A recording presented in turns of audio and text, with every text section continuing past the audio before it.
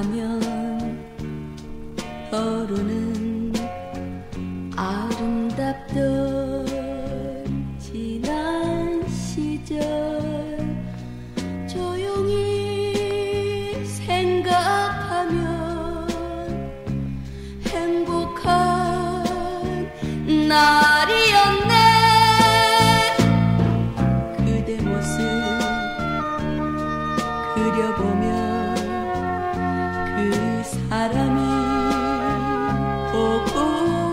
so